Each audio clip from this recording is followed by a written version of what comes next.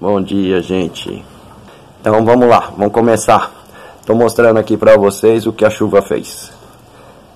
Para iniciar esse vídeo aqui, ó. Derrubou essa minha valqueriana aí, ó. Quebrou. Essa noite deu uma chuva de vento. Aí eu coloquei ela ali, ó. A outra ainda tá lá. Foram duas flores, né? Mas acontece. Acontece. Ela ainda ali, ó. Ela tá úmida. Tá molhada até respingada da chuva, ó. Então ela vai durar um tempo aí. Mas ela já me mostrou para que, pra que veio, né? Linda, maravilhosa. Então vamos começar nosso cursinho? Eu preparei uma mesinha aqui com duas plantas, tá? Nossa George King e, e aqui uma planta que nós fizemos o plantio em cachepô para que eu possa ir mostrando para vocês as partes das plantas, da planta, né?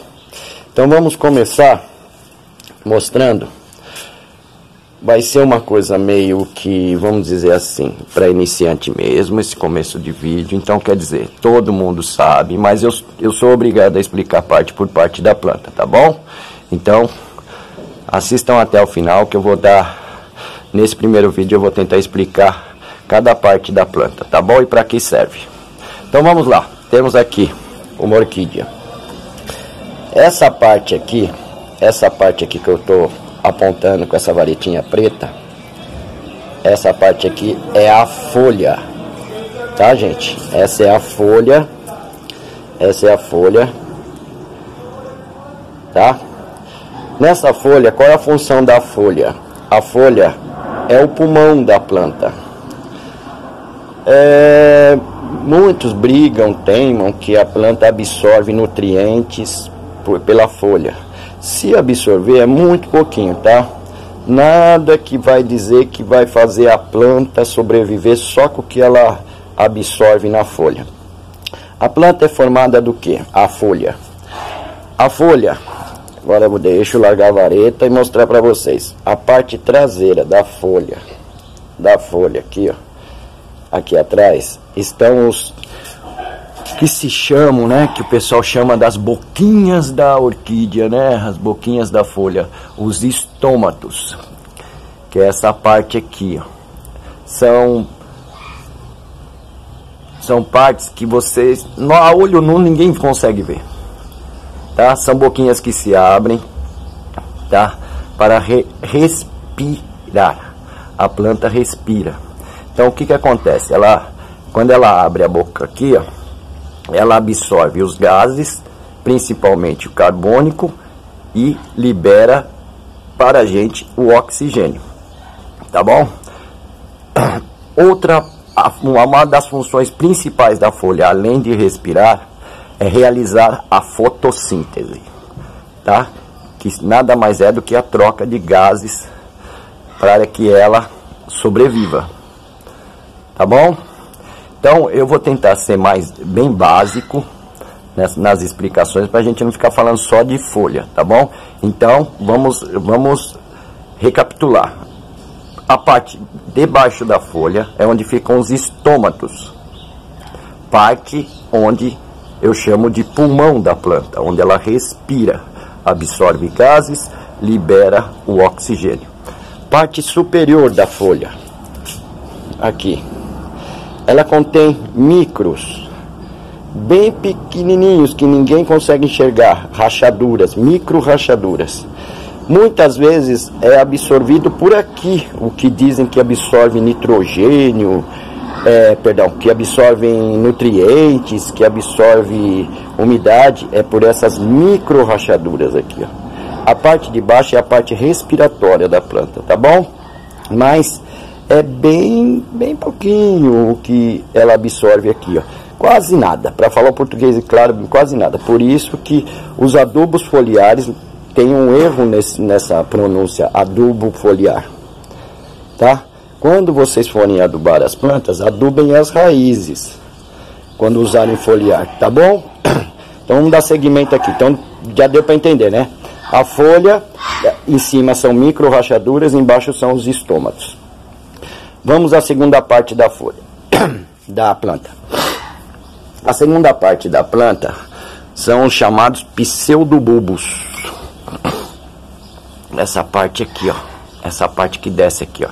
Isso aqui se chama bulbo ou pseudobulbo, tá? Essa parte que reveste o pseudobulbo aqui, ó, branquinho, que às vezes desce até o final, vem desde lá do começo, é que as minhas eu já retirei.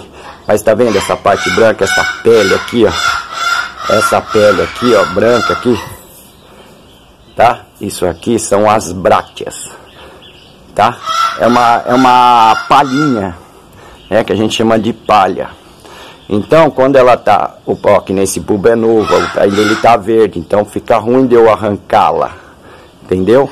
Então, quando ela secar mais, o interessante é arrancar, principalmente da parte de baixo, onde vocês vão ter visões aqui, ó, de como tá a saúde do seu bulbo. Porque muitas vezes ele apodrece lá dentro e você não vê, dentro se mantém-se a, a bráquia.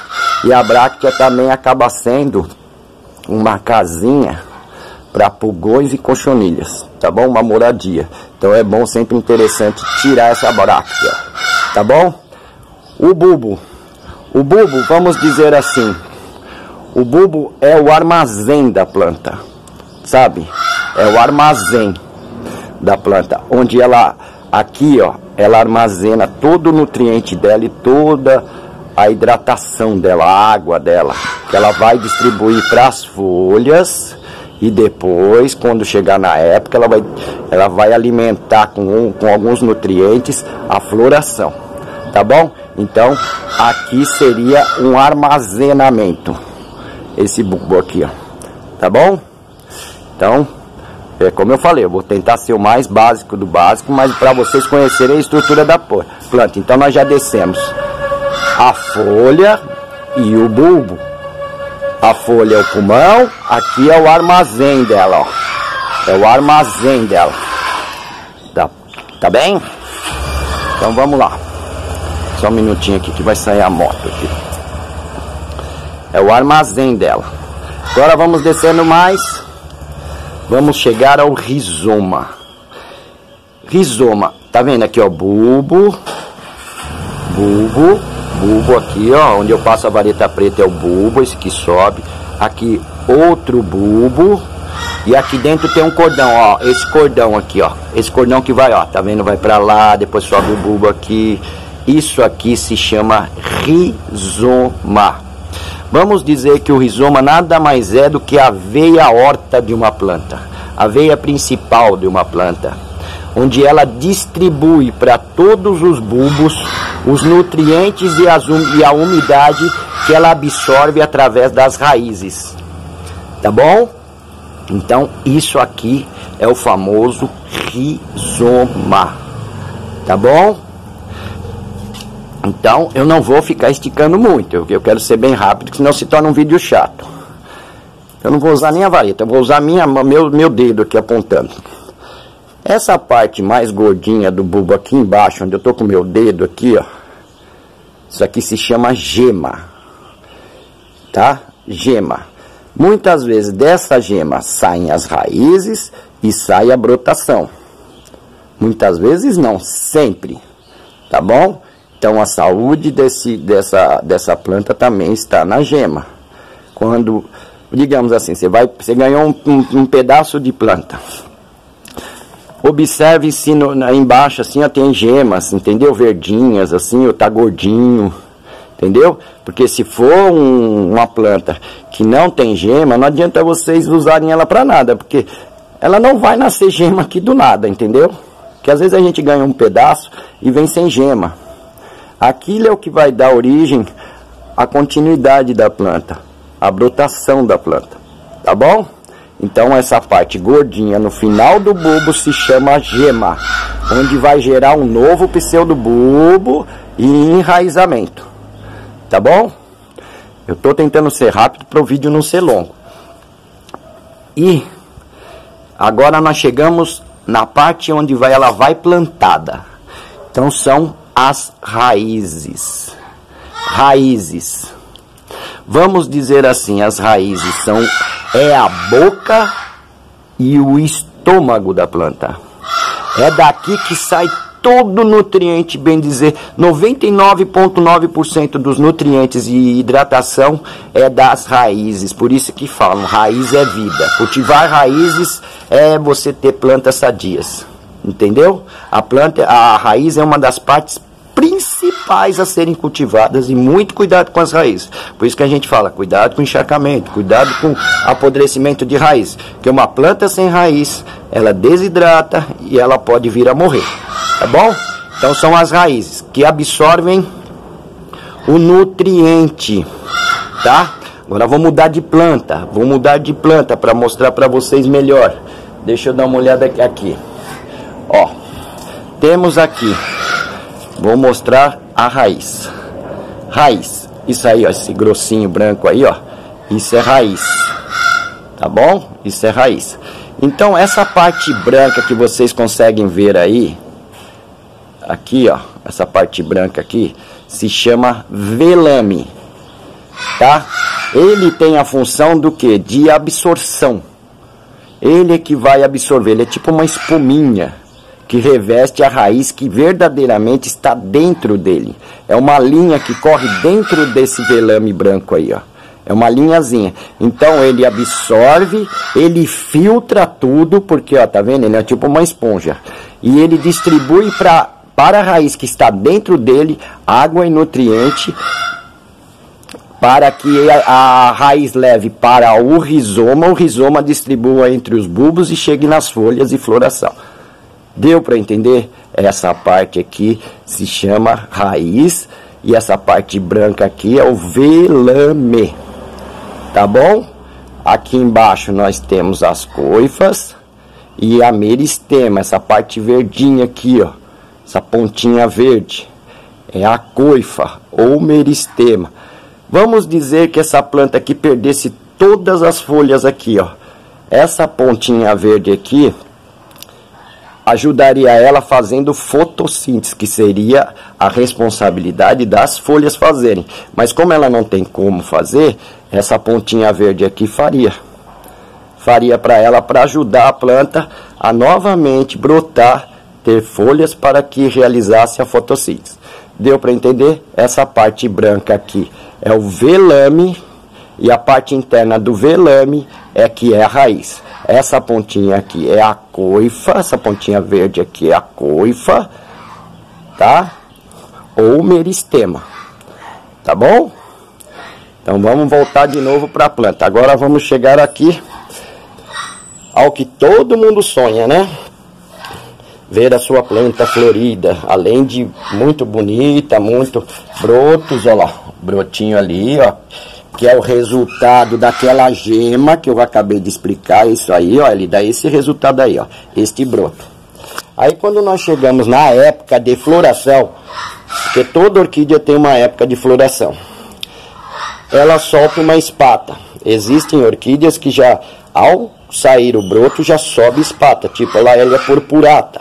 Mas isso é coisa que a gente vai focar mais pra frente. Eu quero explicar é, a morfologia da planta, né? A anatomia da planta. Esta parte aqui, esta parte aqui, ó, se chama espata. Tem umas que da espata fica verde, não enche de jeito nenhum. Depois que ela seca, é, aí chega a época de floração da planta, aí ela enche. Tem planta, tem orquídea que flore com espata Verde tem orquídea que flore com espata seca, então nunca corte a espata da sua orquídea. A não ser que ela, ela resseque e ela mesmo murche muito, enquanto ela estiver assim, ó, e mesmo que ela esteja seca, ela está assim, ó, bem, bem espatada, assim, bem pontuda, assim, ó, bem, bem ereta, assim, ó, deixa ela lá, não se preocupa, tá bom?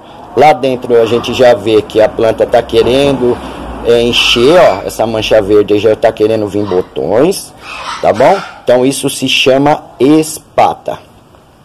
Aí da espata se origina isso que está lá dentro, ó, que vão vir encher de botões, para finalmente chegar na época deles e nos dar este presente aqui. A floração. Tá? Então, a flor, eu não vou ficar entrando em em partes técnicas, tá? Mas eu vou explicar para vocês. A flor é composta de pétalas laterais, tá? Pétalas laterais e sépalas. Esse biquinho que forma um, tipo um, um triângulo assim. É, ó, ela tem uma sépala, duas sépalas. Cadê meu dedo? Aqui, sépala. E outra sépala. Uma pétala, duas pétalas e o labelo, que também seria uma pétala. Tá?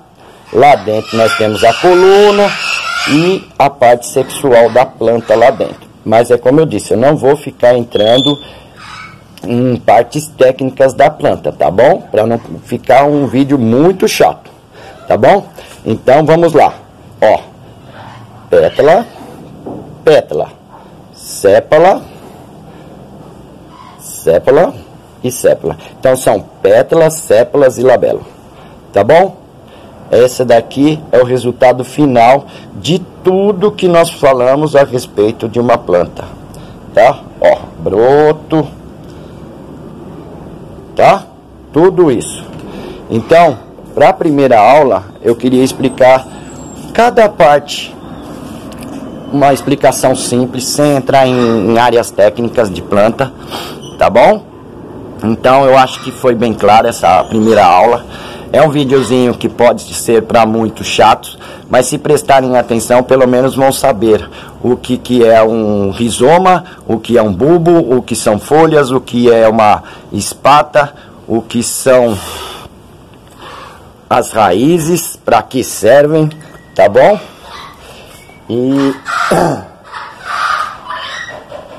Então, eu acho que para a primeira aula tá bom, não tá, gente? Tá? Então é isso aqui, ó. Ó. É isso aí que eu queria mostrar para a primeira aula. Na segunda aula, que eu já vou deixar aqui, depois eu vou fazer esse vídeo, eu quero falar como você escolhe uma planta, tá?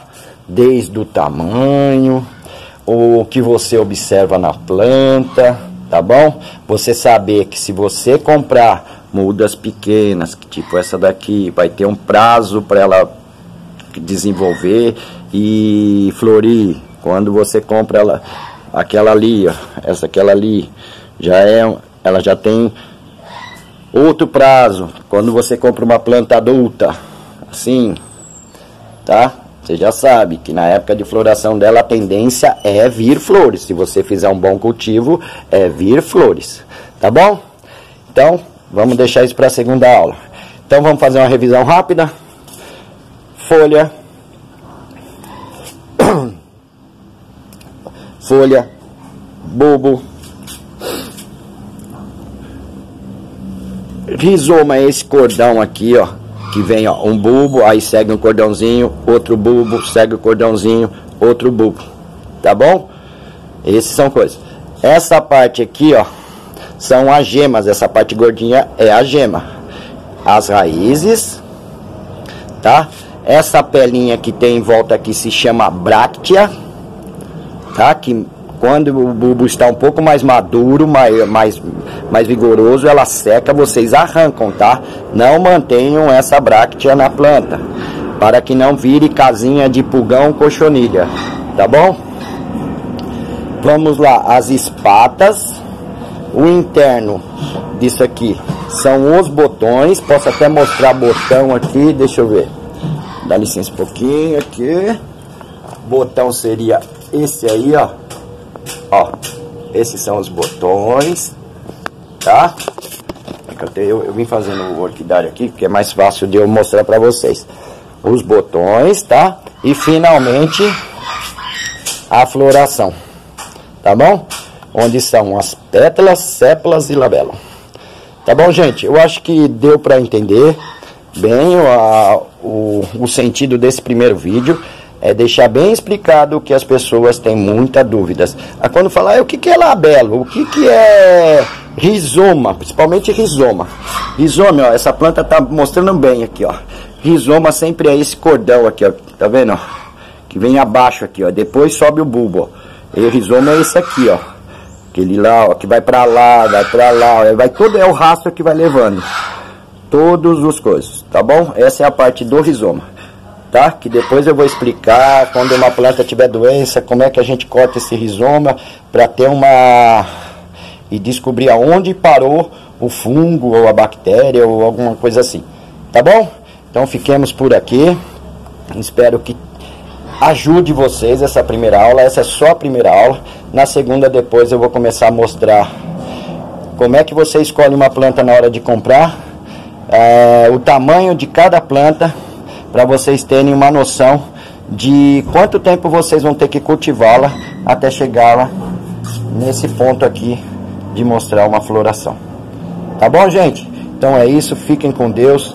Eu provavelmente eu vou colocar esse vídeo e vou criar uma playlist onde vai estar escrito provavelmente eu vou colocar o nome de curso curso para orquidofilia, alguma coisa assim, tá bom? Aí vocês vão achar os vídeos lá dentro. Esse é o primeiro.